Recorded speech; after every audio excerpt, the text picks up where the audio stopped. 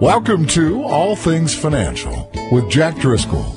Each week, Jack takes on all things you thought were hard to understand about your finances and makes it fun, easy, but most of all interesting.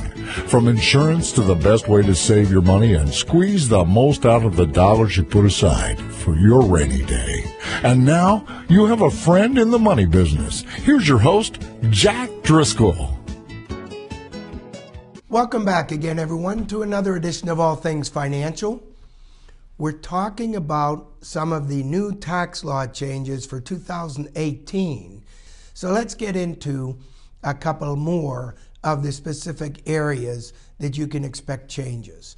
One is we look at tuition waivers for college graduate students, and it doesn't affect most of us, but for those of you who are grad students who are given tuition waivers, we were afraid we might lose that they are tax exempt. They're tax free and that you'd have to pay tax on them. Fortunately, in this new tax bill, the tax waivers are still intact as being tax free. So you won't have to pay any income tax on them. And that's good. But one of the things we did lose were the tax deductibility on alimony payments. And I know that's coming as a surprise to some of you who may not have heard that yet. But the new tax bill says alimony payments, if they're codified in divorce agreements and go to the ex spouse, et cetera, who earns less money, are no longer deductible for the person who writes the checks. That could be a big change. And it may even factor into many of the different agreements, the legal agreements now, as they're drafted because that might mean the person paying the alimony might be paying less or more, and the person receiving the alimony might have to actually receive more because they're not deductible anymore. So that's a big change, I think, that we'll see coming. It's not supposed to happen for new paperwork or new divorce agreements until those that are signed after December 31st. 2018. So there is some planning time element for that one. Now we had a deduction for moving expenses. Some of the little itemized deductions that we, I'll say, used to have that are pretty much gone. One of them was for moving expenses, and it looks like we're going to lose that except for some members of the military. So think about that when you're looking at moving most of the moving expenses that we had that were deductible before are not going to be deductible going forward. Same thing for investment fees, IRA fees, custodial fees, tax preparation fees. We were able to deduct those as itemized expenses, some of those subject to the 2% rule. But now, most of those that I just mentioned are no longer tax deductible items. So, again, because of tax simplification, some of that means we lose a lot of the itemized deduction capabilities that we had before, and some of the categories are just gone. They're no longer deductible. So, even tax prep fees are no longer going to be deductible. Disaster deductions. We used to have catastrophic disaster reduction, uh, deductions, and then we also had casualty losses, which were anything that would happen to the home that was not a natural disaster or deemed as a natural disaster, but was not covered under your homeowners. So we had some casualty loss deductions and some catastrophic disaster deductions. Most of those have changed. Losses sustained to a fire or storm, let's say, or theft, they're not that aren't covered by insurance. We were able to itemize those. And now, through 2025, because this again is a temporary law, people can only claim the deduction if they've been affected by an official national disaster. So if it's not been named by the government as an official national disaster, we lose that deduction. And that's big because even some of those who were affected by the California wildfires, that was not deemed as a national disaster would lose their deductions if it was deemed a random fire rather than a national catastrophe. So there's a fine line there that we have to thread to see whether we're able to deduct casualty losses anymore. There are a couple other itemized deductions we never even knew we had. Uh, one of them I'll point out, but it's the reimbursement for bicycle commuters. Now, who knew? But there was a reimbursement for bicycle commuters, which let you knock off $20 from your income per month for the costs of bicycle commuting to work. Pretty cool, right? Although we didn't know about them, assuming we weren't enrolled in a commuter benefit program. But that's gone. So now you know, but it's too late because it's gone. The other thing is, I wanted to get into a major component of this new tax bill, and that is the estate tax. Now, the estate tax has a federal limit that any estate, which is a, the amount of assets and net worth that a deceased person is worth. And we call that an estate for short. So a federal estate is everything the federal government deems assets. That can be many different things IRAs, individual retirement accounts, 401ks, houses, cars, annuities. It can include savings accounts, it can include all the investment accounts, it can even include life insurance. So we look at a federal, what's subject to federal estate tax. All of that is subject to federal estate tax and has been, but the federal government also has always had in place a federal exemption where they say until your federal estate exceeds X dollars in value.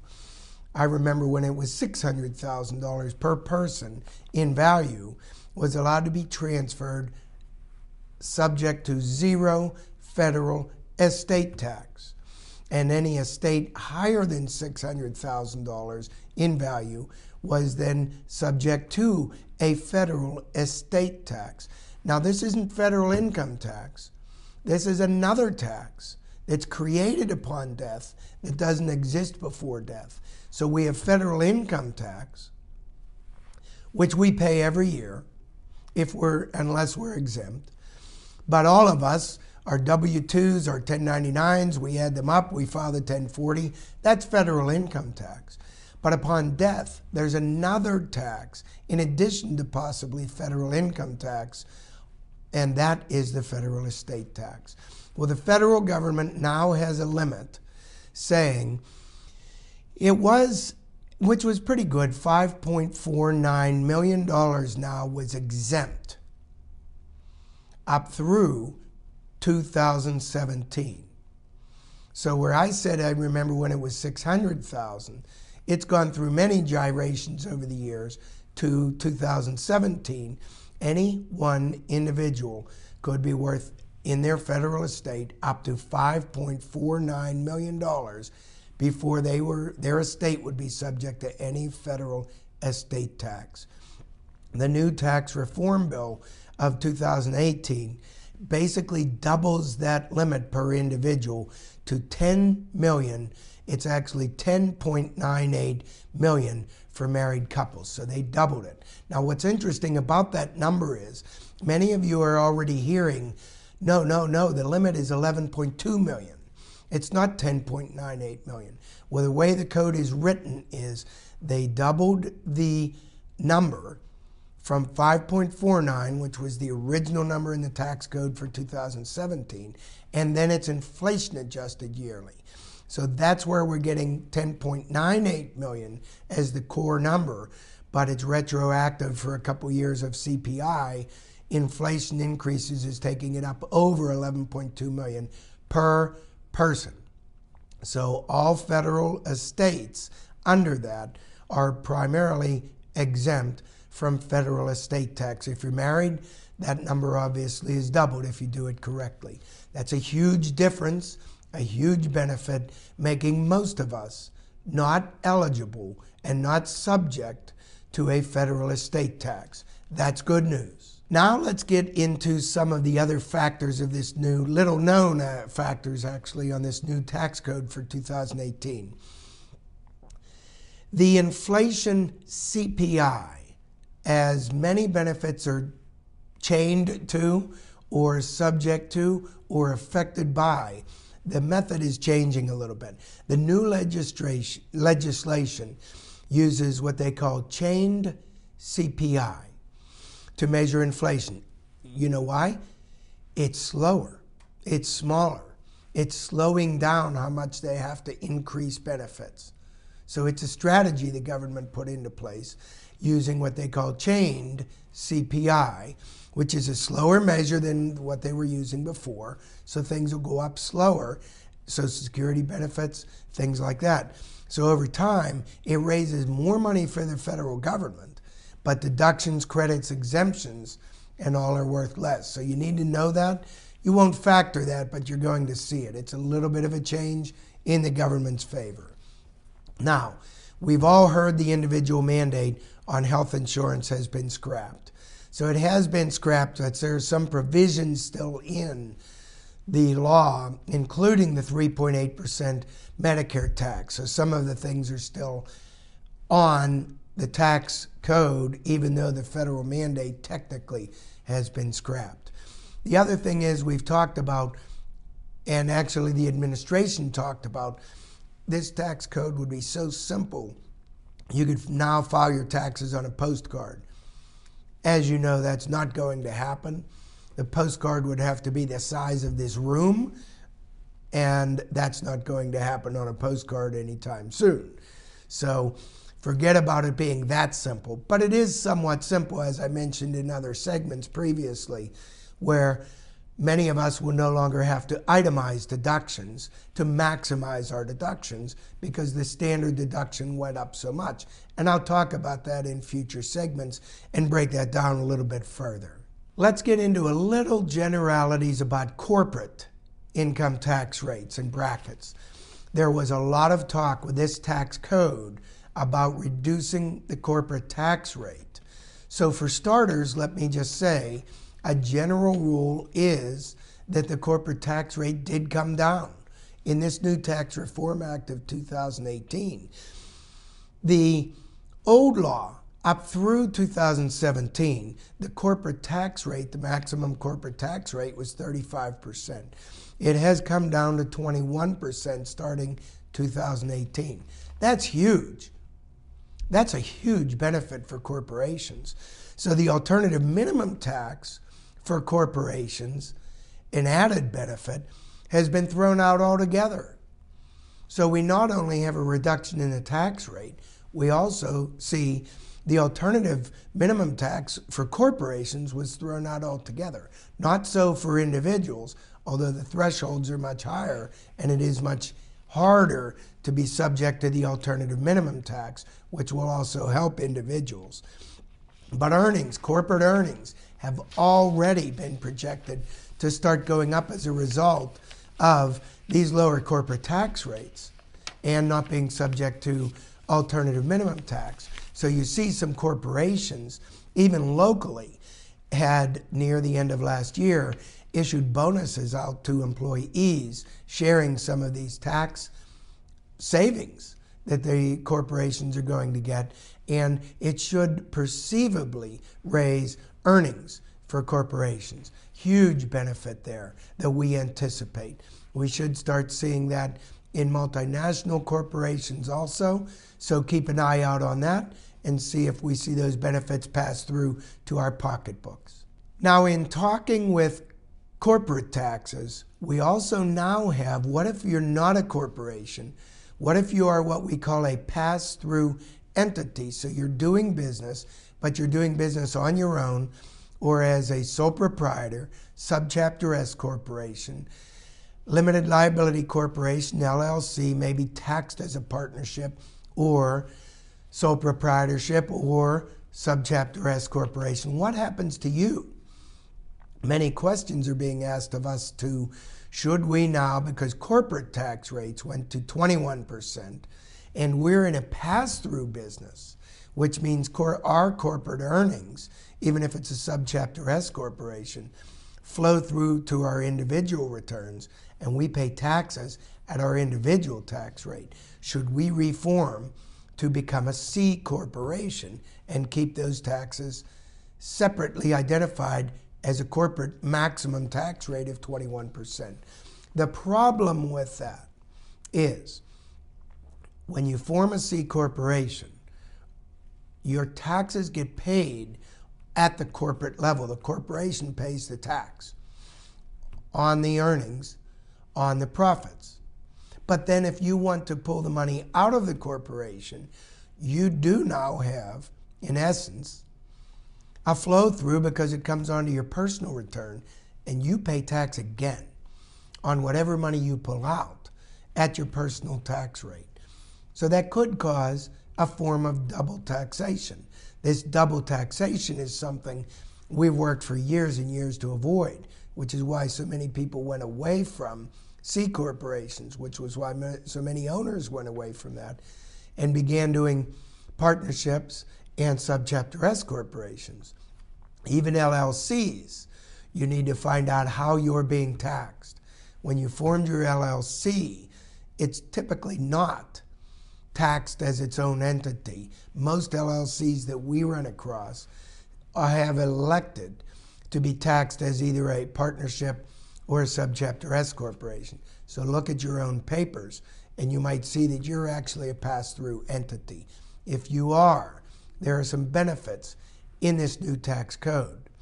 One of the benefits are as long as you're not in an exempt class, and I want a classification of business, and most of you won't be, up to 20% of your gross earnings from your company, when they pass through to you individually, 20% of the earnings will not be subject to tax. That's the general rule, and that's also a huge benefit. So they're trying to, the government was trying to help offset because the corporate tax rate went down to 21%. What about all the non C corporation small business owners?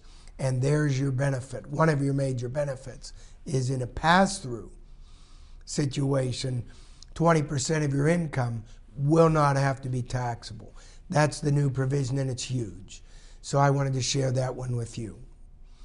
All right, we'll be back again with some more in future segments. You want to keep in tune with that, and I'll get in with the corporations. But that's a general summary for you. Now, we talk a little more about this corporations and CEOs, and they're going to share all the money back with the employees and the public. But, you know, don't be fooled. Some of these companies are and should take those profits and reinvest them back into the businesses to accelerate the growth of their businesses. So many people in public companies, and you own their stocks as shareholders, welcome that kind of news. Where you'd say, no, no, don't share those benefits with the employees, reinvest them back into the company because it benefits the shareholders. Others of you would say, wait a minute, we're employees, share the benefits with the employees, don't share them with the shareholders. So there's a big difference there, but the, the, that the benefits will probably actually be realized. It's a matter of they won't all go to one place. Some of the companies will keep them, some of the CEOs will keep them. Some of the company's shareholders will receive them, some of the employees will receive them, and actually it could filter out to even all of the customers through lower pricing or more competitiveness. So keep an eye on that. But I wanted to share with you there's no one way that all these companies are dealing with this perceived benefit of the increased earnings on their companies due to potentially paying lower taxes. Now, the other thing is, many of us aren't concerned about, but I'll just touch on it multinational companies, which I've brought up before, these international and overseas businesses. Well, I guess I should say there's kind of a punishment in here for overseas companies because, as you know, the administration is saying we want U.S. companies doing business in the U.S., keeping their profits in the U.S., and hiring and using tools and materials and people from the United States. So some of the changes in this tax code were trying to be the carrot and the stick to try to promote more domestic activity and domestic employment. So, pretty much, we're switching to a territorial system of taxation, which we haven't really had like this in this form before. And it means companies won't owe federal taxes on income they make offshore. But the way they're working this is to help the transition because they're trying to transition companies to bring money into the United States that they're making overseas. Companies will be required to pay a one time low tax rate, quote unquote, on their existing overseas profits. So, what they're trying to do with the government saying, if you make money overseas, we won't tax you for it. Bring it back over here in the United States. But any money you've accumulated over there and that's sitting over there from prior years, we're going to put a low rate on it, bring it back into the United States at a 15.5% rate on cash assets that would be taxable bringing them back into the United States, but it is a low rate, and 8% on non cash assets like equipment in which profits were actually invested. So the government is trying to say, let's get everything back over here, ship it back over, whether it's cash, whether it's equipment.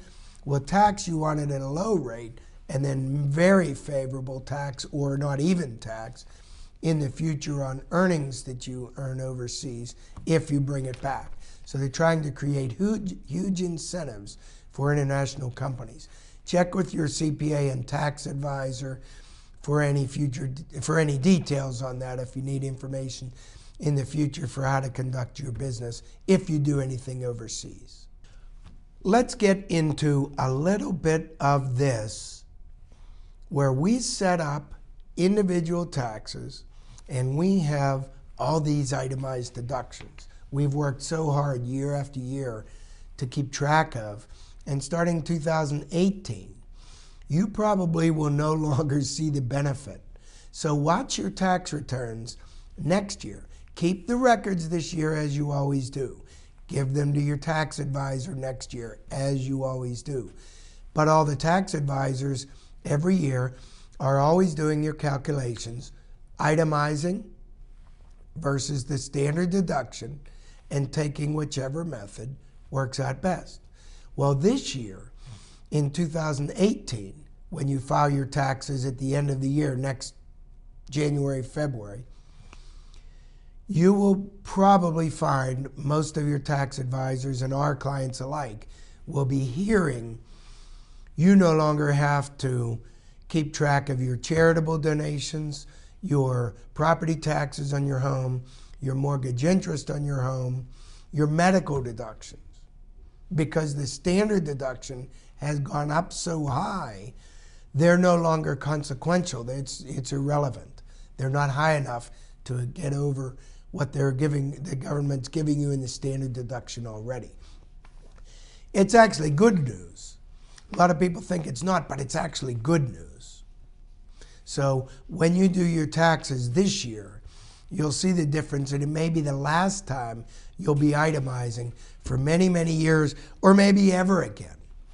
The other thing is, if you take personal exemptions. It will change your tax strategies slightly because tax exemptions were opportunities for us, the more family members, the more write offs we got just by having more dependents. And that benefit is basically gone.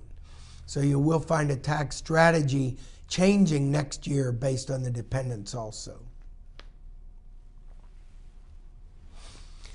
Now, let me give you an example with some of these standard deduction versus itemized, et cetera, different scenarios. First, let's say you're single, let's say you have no children. As a general guideline, the standard deduction 2017 was $6,300 roughly. It was 6350 actually. And it now for 2018 just doubled to 12 nearly doubled to $12,000 even. The personal exemptions, and again, in this example, you're single, no children. So you had one personal exemption because one household family member. Your personal exemption last year in 2017 would be an additional $4,050 write off or deduction from income. So your total deduction for income, those two combined, last year, 2017, would be $10,400 reduced from your income, the remainder of which would be taxable. For 2018, the standard deduction doubled to $12,000. There is no personal exemption anymore. But still, last year in this example, you're single with no children. Last year, you only exempted you to $10,400 from your income was reduced. This year, 2018, $12,000 gets reduced from your income, and only the remainder is taxable. So you still win. You're ahead of the game. Now, married filing jointly, let's say with no children, for an example, we get into different scenario. Married filing jointly with no children, 2017 standard deduction 12,700. 2018 standard deduction $24,000. Again, nearly doubled. But what about those personal exemptions? $4,050 per person. In this example, you're married, filing jointly, no children. You have two personal exemptions. 2017, $4,050 each. That's $8,100 on top of the $12,700, right? So it's $20,800 in 2017 that doesn't count in, of your income.